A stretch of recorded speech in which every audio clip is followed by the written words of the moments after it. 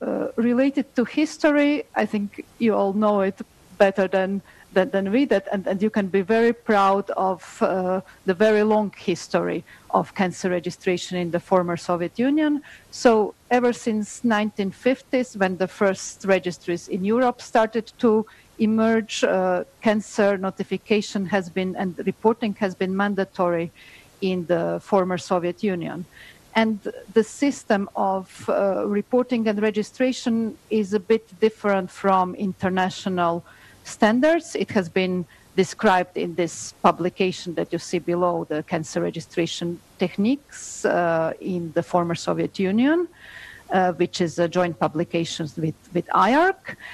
And uh, for example, the differences are that the ICD-10 uh, or ICD coding is used for topography rather than ICD-O, which is an international standard.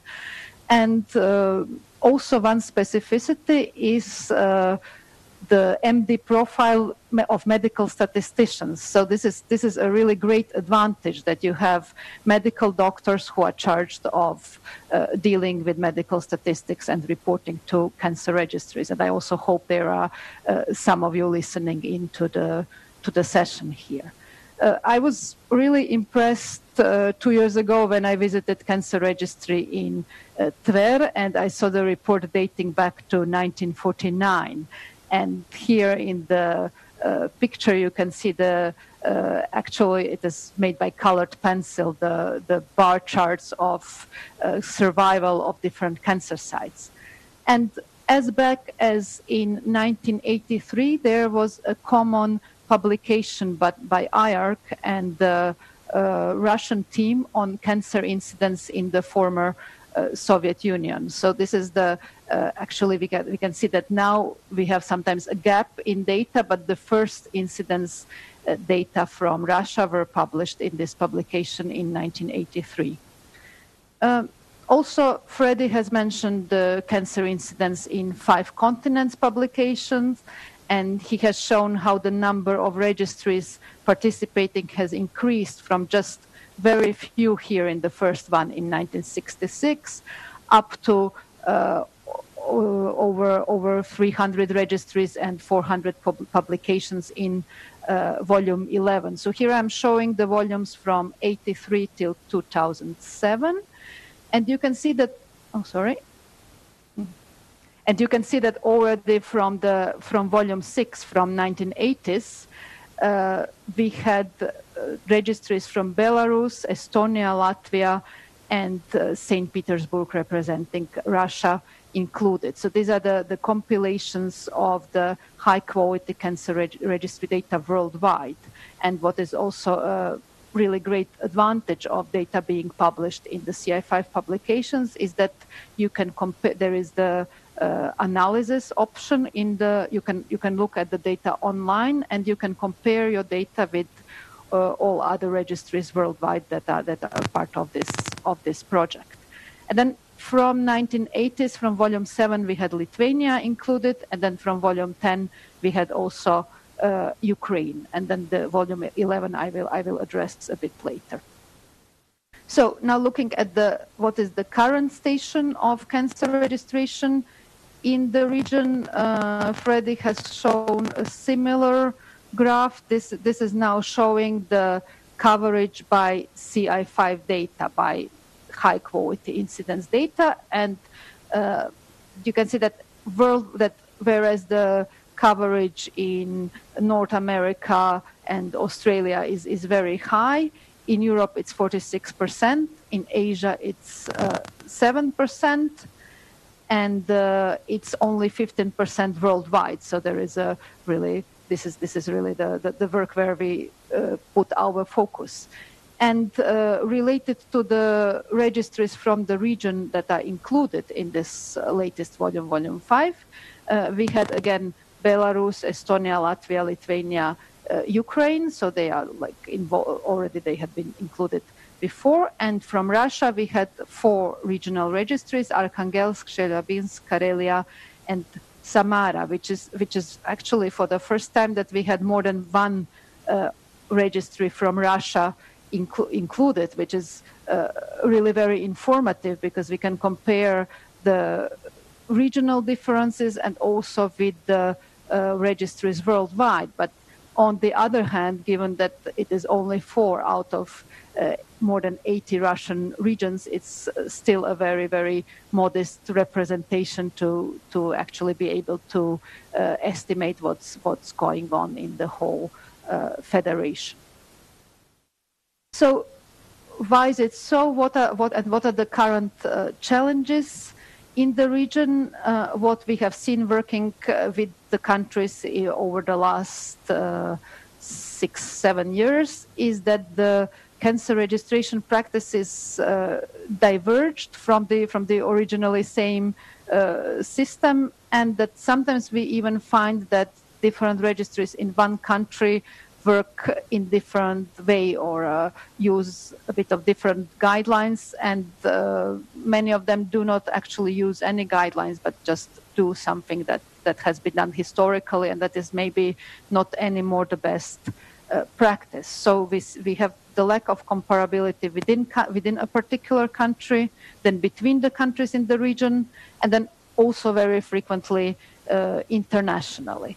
Uh, then the two challenges below are, are challenges that are not specific to the to the region but shared by many registries worldwide. And this is that that currently in this time and age we are in a sort of uh, gap in a transition period where the paper-based reporting and paper notifications are really considered outdated and, and obsolete and it's very hard to get paper report on anything. But then on the other hand, the e-health systems are not as yet developed well enough to really, pro- in most cases, provide uh, completely electronic uh, replacement of all cancer registration uh, report uh, data collection, reporting, and, and, and different processes. And we have very only a handful registries worldwide who are working really in fully uh, automated, fully electronic way. And, and the, the last but not least, and really commonly shared, is that the registry work uh, frequently remains invisible. So, looking at, at the region, at all the medical statisticians who do such a, such a great work, who put so much effort and who, who produce one really big wealth of data, but frequently the data is just uh, published in a report that that is not then further used neither for cancer control purposes, neither for the for the for the research purposes. So this is really a big task to to somehow become more visible and to advocate for for the data that are that are available because it is also with use that the data gets uh, improved. Um, an important part of the, of the of the solution and of progress is to have uh, common standards. And when we go to the countries, this is, this is always one of our first recommendation to to apply international standards. But it's and, and one one of them is ICD-O-3 international classification for uh, diseases for oncology. And then the third edition, which is, which is currently in use, has been recently translated to Russian, to Georgian, and to Azeri language. And you can see the uh, the photos below, and then the Russian translation is also available at the at Petrov Institute uh, uh, site. And now I will tell something about what we have done within the Global Initiative for Cancer Registry Development, which we hope is also a part of a of a uh, solution. I hope uh, many of you have heard of the GICR program, which is within the cancer surveillance section of uh, IARC. Um, as Freddie has mentioned, IARC has been supporting uh, cancer epidemiology uh, research and the data, the data and cancer registries for more than 55 years. But uh, it is only with the starting of the GICR program in 2012 that we have uh, let go of the centralized approach of all the training and activities being at IARC, but we have uh, assumed a regional uh, approach to be able to have a more targeted uh, solutions for uh, different regions worldwide. And you have seen that the uh, that the gap in the data is mostly in low and middle income countries. So we have uh, focused on working with the low and middle income countries in six regional hubs that you can see uh, in this uh, graph. So in, in each hub there is a principal investigator in the region, and then there is a person working with the hub at IARC. And for this blue one, Northern Africa, Central and Western Asia. Uh, it is me who, who, who works with the with the hub, and the seat is in Izmir, so we call it. We nickname it Izmir Hub. And then the idea with the, the hubs is, of course, that they uh, provide for the region training, technical support, that they support networks, and also uh, cancer control interventions.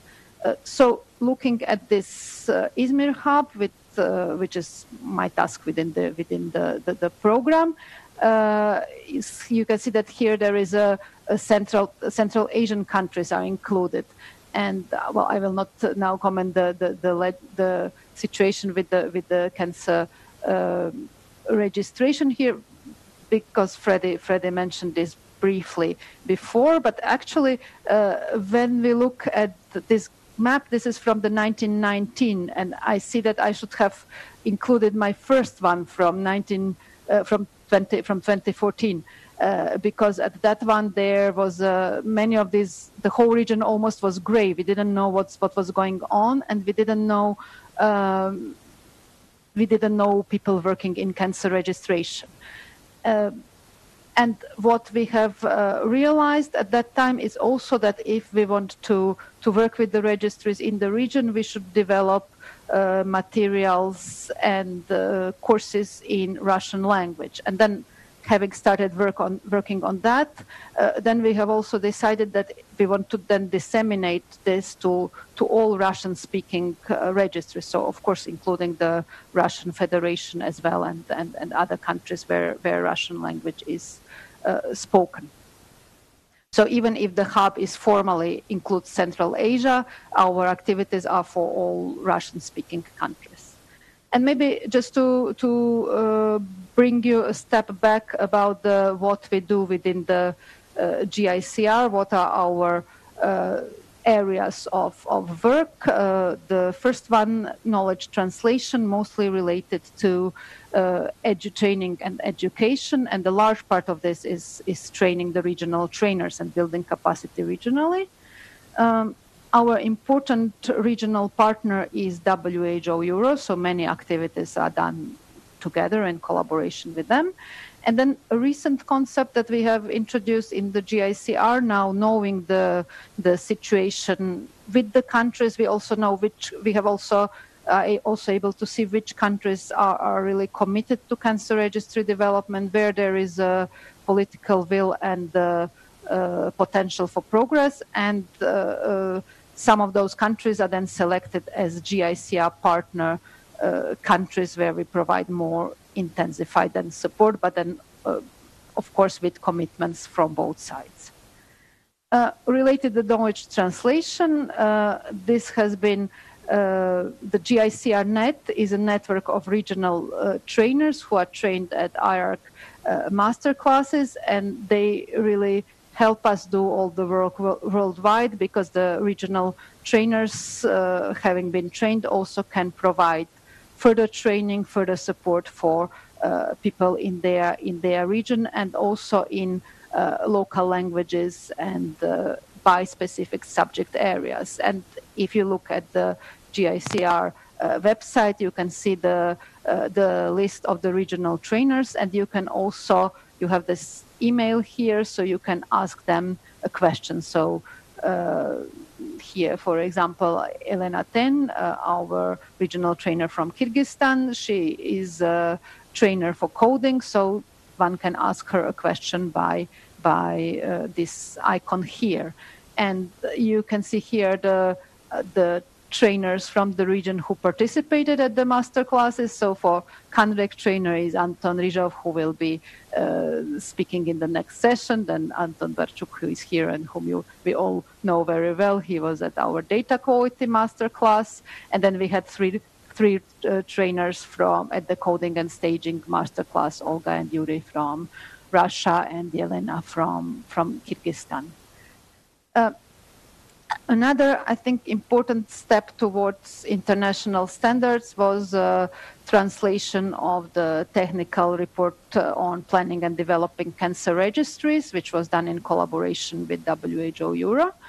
Uh, you cannot see here, but this is like a very thin book of about 50 pages that doesn't go into very, it's not a textbook, but it provides a good overview of uh, the role and status of cancer registries, should, what should they be used for, how to plan them, how to control the quality, and how to report the, the results. So this is this is very useful also as an information for um, stakeholders.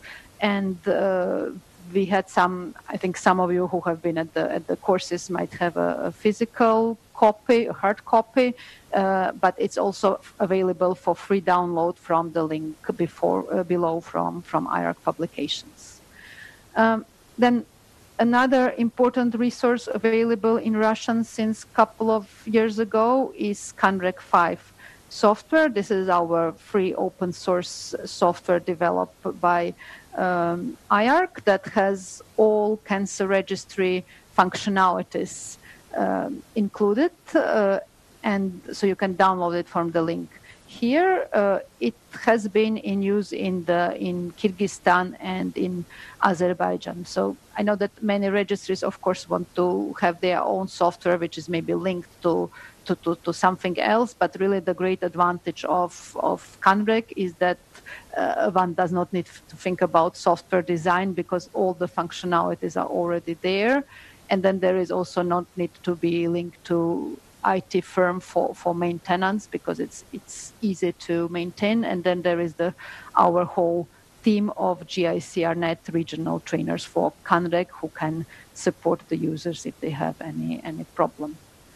Uh, now coming to the courses in in Russian. So we were really very proud to organize the the, the first course in Kazakhstan in 20, 2014 and uh, for the first time find out uh, something more about the cancer registration practices in the region, about what uh, what issues people face, and uh, then we even uh, compiled common uh, recommendations, so-called Astana recommendations. I have not uh, published them here, and then we were even more happy to then do another basic course for the whole uh, region in Bishkek in 2016, and and see that there has been actually a lot of progress within these two years from from 2014 till 2016.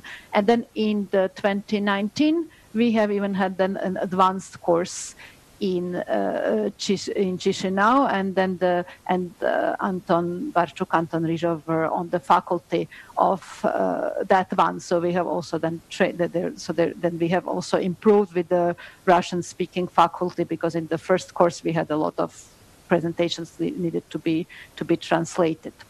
Um, at the same time, here from the years 2015, 15, 16, 17, uh, we had annual basic cancer registration courses only for Russian uh, for Russian Federation, and uh, at each one we had uh, about uh, almost uh, close to 30 regions covered. So we basically covered the whole Russian federations by the basic cancer registration courses. This was with uh, also with the collaboration with WHO Euro.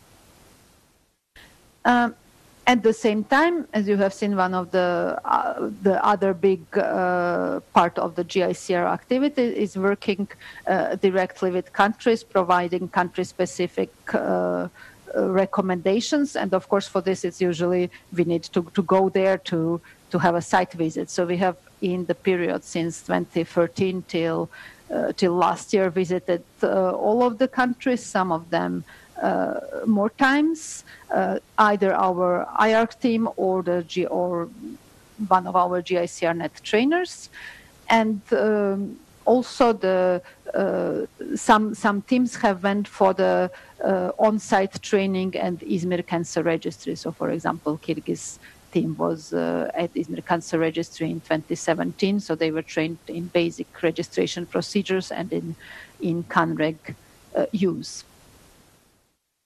Uh, coming now to partner countries, uh, we have one partner country from the region. This is from a very, very recent development from a couple of months ago. So our partner, current partner country is uh, Georgia.